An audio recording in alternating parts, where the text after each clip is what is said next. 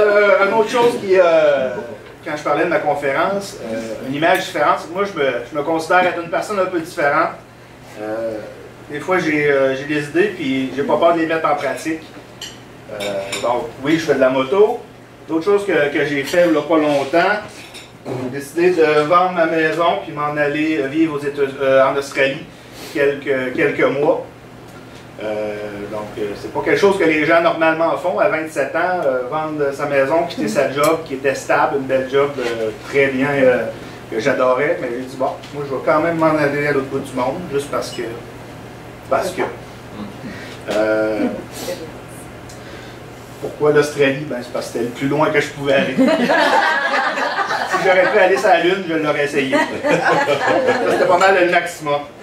Euh, mon, mon- mon plan quand je suis arrivé là-bas, c'était de arriver là-bas avec rien, pas de contact, m'ouvrir un compte en banque, euh, m'acheter une voiture, me trouver un travail, ce que j'ai tout accompli euh, euh, là-bas durant six mois. On a travaillé pendant trois mois. On a fait du camping, donc vous voyez la petite voiture avec ma blonde.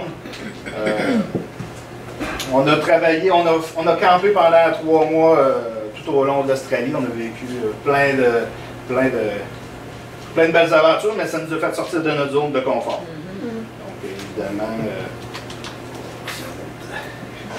on a aussi visité la Nouvelle-Zélande. Ouais, moitié, ok. Donc, on a aussi visité la Nouvelle-Zélande. Là, j'ai sûr que j'ai pris beaucoup de photos. Je vais, me- je vais juste en montrer quelques-unes. Il y a une colline avec des chevaux. Sauvage? Euh, non, je pense pas. Il y avait dans la votre clôture. Il a changé. Donc, euh,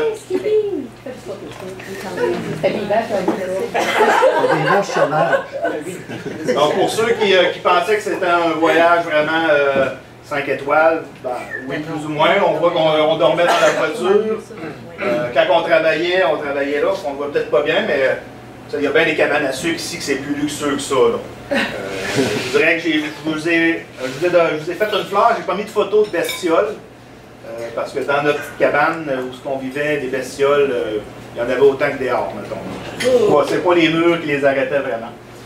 Puis euh, on a fait des belles rencontres, on a rencontré Skippy. Je pense que c'est c'est pas lui par exemple. Sabuleux. Donc, ça a été un très beau voyage.